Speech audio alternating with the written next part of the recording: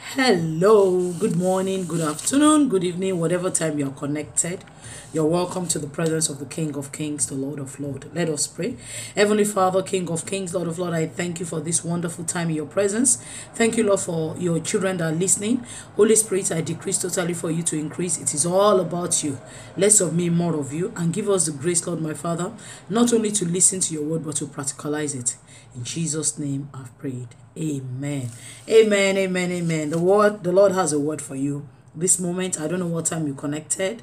Morning, afternoon, evening, it doesn't matter. The Lord has a word for you. And I know that whosoever it is, the Lord will bless you and you will practicalize what you hear in the mighty name of Jesus. Just a quick one, as I always say, what the Lord has for you is a topic called You Will Get Through the Storm. It's just like a word, just a word of encouragement that you will get through the storm. And before I forget, if you've not subscribed to the YouTube channel, what are you waiting for? Try and subscribe, please. Try and subscribe and then share the video you know, it helps. It's a form of evangelism. You will get through the storm. Let's go to the book of Mark 6, Mark 6, chapter 46. I'm going to be reading from verse 46 to 52. Mark 6, I'm reading from the NLT version. Immediately after this, Jesus insisted that his disciples get back into the boat and head back across the lake to Bethsaida while he sent the people home. After telling everyone goodbye, he went up into the hills by himself to pray. Late that night, the disciples were in the boat in the middle of the lake, and Jesus was alone on land. He saw that they were in serious trouble, rowing hard and struggling against the wind and waves. About three o'clock in the morning, Jesus came towards them, walking on the water. He intended to go past them, but when they saw him walking on the water, they cried out in terror, thinking he was a ghost. They were all terrified when they saw him. But Jesus spoke to them at once. Don't be afraid. He said, Take courage, I am here. What is a storm? Everybody has different definition for what a storm is. But obviously, a storm is always an unpleasant experience, either while you are obeying the instruction of God or if you're not.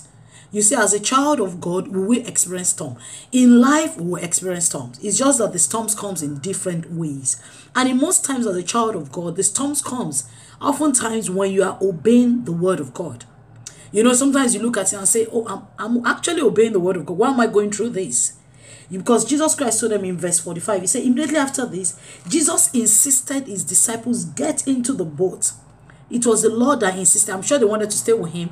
But because Jesus Christ had to stay alone to pray to Jehovah. So he told them, he said, go. You know, insisting is like, I mean what I'm saying. Go into the boat. I will meet you. So they follow the word of Jesus Christ. I don't know the instruction that you followed, that the Lord gave you specifically, and you follow the instruction. And yet it seems that there is a storm. In fact, you're looking at it that, is it that I didn't hear well from the Holy Spirit? Or paraventure, I followed my flesh my brother, my sister, when you obeying the voice of the Holy Spirit, when you're obeying what the Lord tells you to do, there will be storms. There will be storms. So storm is an unpleasant situation experienced either while obeying the instruction of God or even when you're not obeying the instruction of God. So when you're obeying the instruction of God, you will experience storm. And then in life, generally, you will experience storm. I've gone through storms while obeying the instruction of God. I've gone through storm while you are not even obeying you're just a normal way of life you will experience storm. Number two another thing that we must note about storm is that it usually happens at night. It usually happens at night not necessarily in the night. Not necessarily that oh it's night time so it's uh, no it's not necessarily. Let's go to verse 47 47 it says late that night late that night. So in night you know the bible says that don't don't don't don't cry may endure for the night Weeping may endure for the night, but joy will definitely come in the morning. In the morning means a new dawn. There's a song that the Lord has given me for the past two months. And I tell you, since that song has been ringing, as the Holy Spirit has whispered that song into my ears, I've experienced it. He says it's the journey of a new dawn. People, it's different version, but one of the things I know with that song was, "It's a journey of a new dawn. It's a journey of a new dawn. He has come. It's a journey of a new dawn. It's a journey of a new dawn. It's a journey of a new dawn.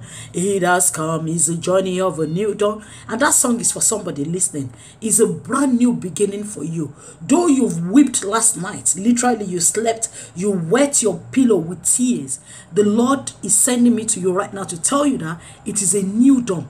So though weeping may endure for a night, the night is the dark moment. The night is a moment that it's only you that understands. That is a night that when you shut the door of your house, of your room, or wherever you are alone, you are in tears. But when you come out, you're smiling for others to see that there's nothing wrong with you. You put on the best powder, you rub powder, you do everything. You do your makeup if you want to do makeup. You dress very well. And everybody's looking at you and say, oh, she's so nice. Oh, he's so sweet. He looks so nice. How? Oh, I don't think this man has a problem.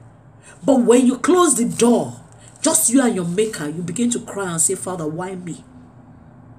Why am I going through all of these things? So a night time is usually not necessary at night, but a moment of loneliness, a moment whereby no one seems to understand. A moment whereby you've stopped telling people about your problem because at the end of the day, they cannot help you. You know, so it's a moment whereby even when others give you advice, the problem is still there. Remember the story of Naaman? Naaman had leprosy. Naaman was literally a big man in the society. He was, he was, he, he had others that were listening to him. He was a, he, he was a soldier. And he was not just an ordinary soldier. He was a major general in, in that context.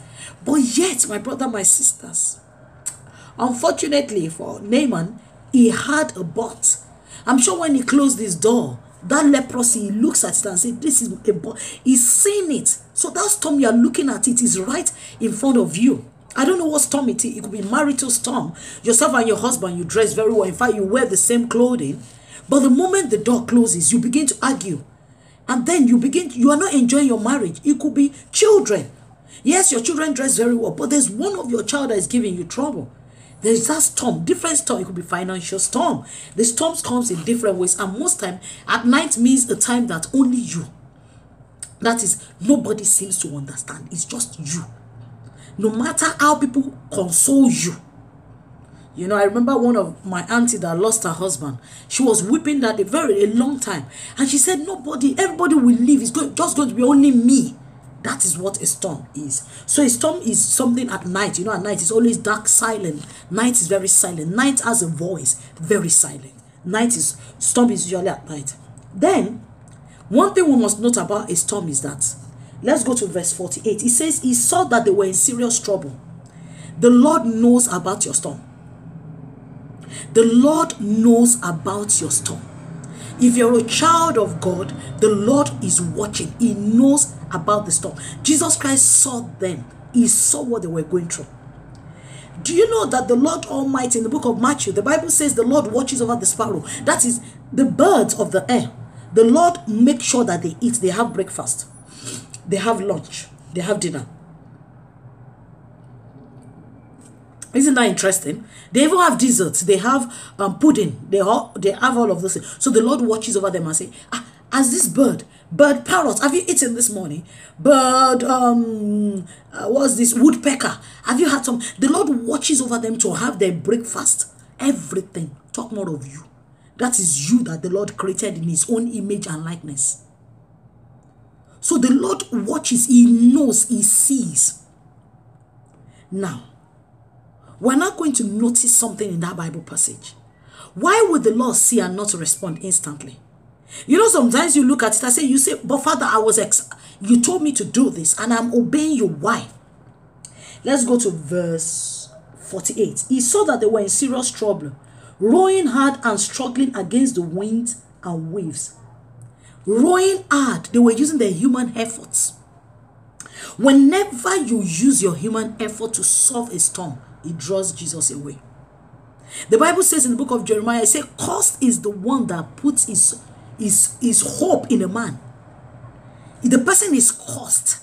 When you put your confidence in man, it cost is on that person. When, the, the Bible says that when there's prosperity, the person will not see it. Cause is the one that puts his trust or confidence in a man. So when you put it in, when you when you when you put that when, when you're going through a storm and then you feel you can handle yourself, it draws the Lord backwards and says, okay, handle it. And he's looking at you. So sometimes, oftentimes as children of God, you might not even know that.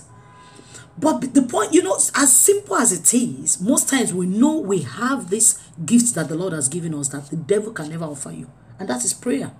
You can never hear the devil tell you pray. He can actually tell you to go to a program. Yeah, go. Because he knows that when you get there, it's going to distract you. But hear the devil tell you, pray. Why don't you pray? You can't get that. As children of God, we have that gift, prayer. But most times, I think it's over familiarity, or we just assume that I've prayed about it. So most times when storm comes, we come overwhelmed with the storm. And sometimes we'll put emotions in it and say, Father, I'm doing your will. As an individual, I've been through that before.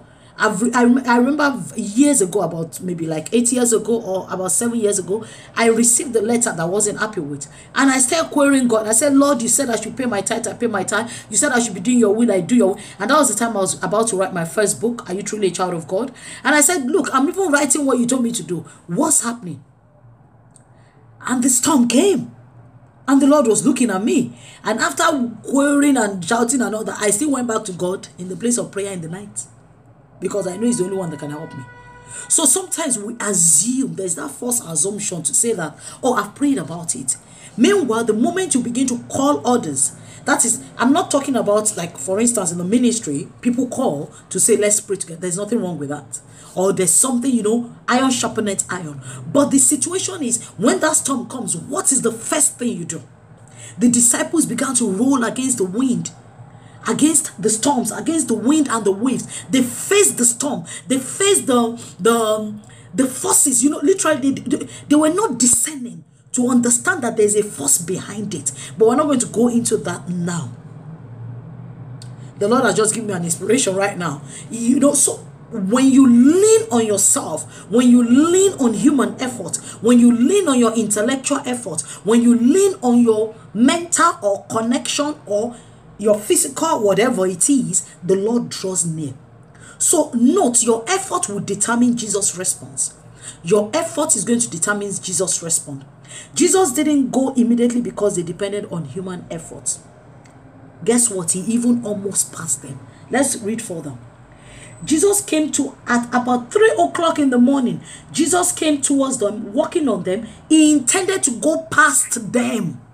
He intended to go past them. My sisters, my brothers in the Lord, as you're connected, that storm you're going through, the question the Lord asked you today is that, have you prayed about it? Okay, after prayer, what was the next step you took? Because what you can say, oh, I prayed, prayed, prayed. I even fasted. What was the step you took? When we say, when the Lord says lean on him, do you know what leaning is? Leaning means that you are like this. When he moves, you move. When he doesn't move, it says in the book of Proverbs, it says, In all thy ways acknowledge the Lord, and he shall direct your paths. In all thy ways. So when you acknowledge him, he will direct. Lean upon him. They that wait upon the Lord shall be like Mount Zion that cannot be moved, that abided forever. So when you lean upon him, when you lean, even the young shall grow weary, will go faint. There'll be those moments he says, But they that wait upon the Lord shall be like the Lord shall renew their strength. They shall mount up wings like eagles. They shall run and not be weary. They walk and not faint. So when you lean upon the Lord, when He moves, you move. When He doesn't move, you're still staying there. My brother, my sisters, in the Lord. The more you use human effort, the more it draws the Lord away. We need to be very careful he almost passed them. So the more we lean on human efforts, the Lord will just be looking at you. Then you seems it seems that the Lord is far away from you. I will quote what this man said. Um, Dave Drav Dravegan, Dave Dave Dravegan said, looking back, I have learned that the wilderness is part of the landscape of faith, and every bit as essential as the mountain top. On the mountain top, we are overwhelmed by God's presence. In the wilderness, we are overwhelmed by his absence. Both places should bring us to our knees. The one in utter awe and the other in utter dependency. You might be at the mountain top now, or you might be beneath. The key is that we must be on our knees praying. So the more they leaned on their own human effort, the Lord passed them. So the more we lean on our own human effort, it seems that the Lord is far from us. Meanwhile, the Lord is not far. So in our human eyes, we'll be like, it seems that the more I'm praying, it seems God is far from me. The question you need to ask yourself is that, am I leaning on him more? Now, the moment we begin to lean on Jesus, things begin to happen. Let's now go to verse 49. But when they saw him walking on the water, they cried out in terror, thinking it was a ghost. When we lean more upon our human effort, when we even say help, we think it's the devil attacking. When we say help, we think it's witches and wizards that is attacking. They thought Jesus was a ghost because they've learned, they've they've had the mindset that he's not coming. Remember, it was, it was Jesus Christ that told them that he's coming, go, I will come and meet you. So the more we wallow in self-pity, the more we wallow our mindset and think that God is far from us, the more it seems that God is far from us, and the more the enemy expands the problem, and then he begins to put terror in your mind. He begins to tell you, it's your father's house, is your father's house. You come from a polygamous home. Any dream you have, ah, hey, devil, devil. No. There even sometimes the Lord is speaking to you through that dream that go through this way. He speaks to you through this word you're listening to. He speaks to you through different different ways. But because your mind, you, you we become our mind is so tiny. I don't know the English to use. We become so myopic and you know in a very funny way. Then when we see Jesus coming, when we see help coming, we become fearful. So that's why it's very important for us to pay, pray for spiritual eyes. That our spiritual eyes is open. Because when your spiritual eyes is open, when the Lord opens your spiritual eyes, you are able to discern a terror from the enemy and the one that is actually from the Lord. So they saw him. But the moment they did something, they cried out in, in error. They cried, at least they shouted, help. Even though they didn't say help, eh, they cried and it caught the attention of Jesus. They cried out. The Lord was passing them. They cried out. Have you cried out? Crying out is not just weeping and weeping. If you weep, weep, weep, after weeping, the problem is still there. The storm is still there. So if you keep weeping, weeping, your eyes will just get big and big like my big eyes. That's just on a lighter note. But when you weep, weep, weep, it's not going to solve the problem. Weeping in the place of prayer like the case of Anna. I love that story so much. When the Lord changed that story, hey, the Lord gave her a new song. Let's read further. Now, there are certain things we need to note things about the storm. Number one, it is when you feel most separated from God that we must realize that that storm that you're going through, when you feel most separated, is teaching you the most. That is when you feel that, when you feel that the Lord is far, that is when you feel that, ah, why am I in the valley? The Lord is teaching you a lesson. He's making you to lean more. He's making you, you know, remember the story of Elijah. Elijah said, Oh, I'm the only person. He ran away. And the Lord told him, Where are thou? I can't leave you. Where are you? Why are you hiding in the cave? So the more you feel God is far, the Lord is teaching you a lesson in that storm. Telling you that where you think I am far, I am actually there. When uh, Elijah ran to the cave, the Lord was there. Everywhere he went to, the Lord was there. The Lord was with him. Everywhere my father went, he was doing good. Because I know him, he will always be there for me. So the Lord teaches us the most when we feel separated. When you feel that I'm the only person, the Lord is giving you a lesson to learn that I'm separating you because I want you to lean more on me. I'm separating you to tell you that I can never leave you. The Jesus Christ said, I will never leave you nor forsake you. So whether it is at the mountaintop or in the valley, in that valley, in that storm that you feel is only you, in that dark moment, the Lord is telling you, I'm with you. So he's teaching you the most. He's telling you, I am with you. Lean upon me. It's not only when I've just I've provided for you. Uh, it's not only when I've given you your request that you know that I'm with you in that storm. So when you feel more separated, he's teaching you, he's teaching us the most. I can testify. If I begin to testify now, we're not going to finish this program. One thing I've learned, and I thank God for the storms I went through, is that it's made me lean only on God. I've realized that it is only God that can help. I keep saying this with confidence that I'm somebody that I don't believe people until it is done. So that I don't get disappointed. Not that I don't trust people, but it's just that I, have learned through the storms of life not to trust. That is, no, I trust you as a child of God, but when you say something to me, I don't believe until it is done. So that my hope is not raised, then you don't do it, then I feel bitter. So I don't, I don't trust, I don't, I don't uh, depend. There are a lot of people in the ministry that in the beginning of the ministry, you see them, you know, sometimes you'll be like, oh my word. Then I, I keep sharing one of these sisters that I, I looked at her as a sister that we're going to be, you know, like when you look at somebody like a contemporary, let me let, let me train this sister in my own way. Something I don't even know why she left. Maybe because I told her the truth. And then all of them left. But his foundation on the Solid Rock Ministry now holding is here. It's not going anywhere until Jesus Christ returns because it's the ministry of God. What am I saying is that because I believe that, oh, I've seen somebody, oh, this is like a sister, oh, but eventually she left. In that particular moment, the Lord was telling me that, look, I'm only your hope. I'm the one that brings people. I'm the one people that go, eh, they are going. The ones that come, I'm the one that brought them.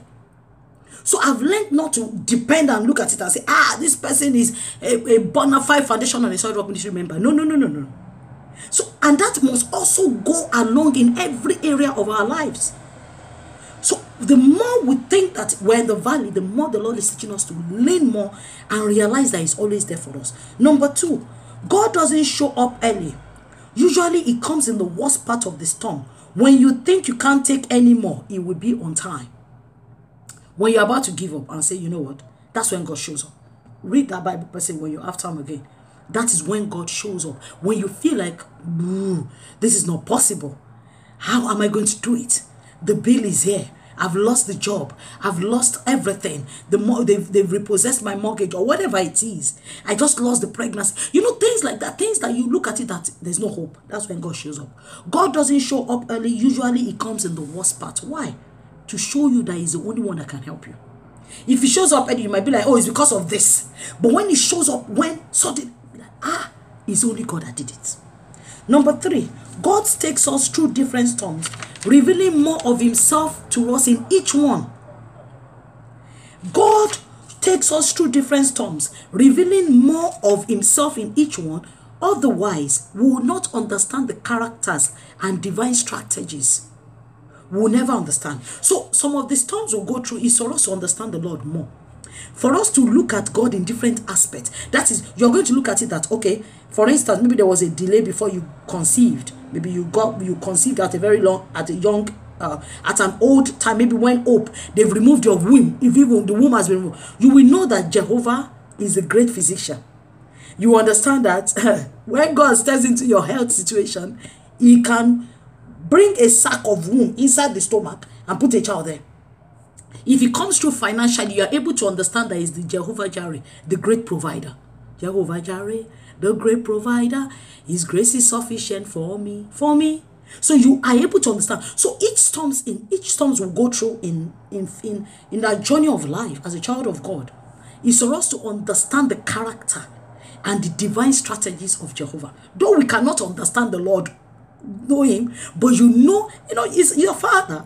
I can relate that the Lord Almighty, one of the things I say about the ministry is that one of the things that put fear in me is that I don't see people, not all the time, I see people one on one. Through the internet, the Lord moves. People feel the presence of God, healing, deliverance, different things without touch. The three days deliverance program the Lord just finished. With a sister, her hand, she didn't even know it was an attack. Her hand, she said she couldn't move it. During the course of the prayer, when the Lord was saying there's somebody that is afflicted with the hand, she was able to do it. A lot of things, a lot of things that the Lord did. Different touch in the in the revelation after the program. I didn't touch them. That one is enough to make me realize that Jehovah is omnipresent. So different storms, the storms I go through in life makes me to know the divine capability and the character of God. Then the last coming to a conclusion. The moment you hear it is high, hey, our fear should be calm. Look at what Jesus Christ said. He said, Do not be afraid. Take courage. I am here. I am here. That is the word you need. And that's the word the Lord has for you this afternoon or whatever time you're connected at. is here with you.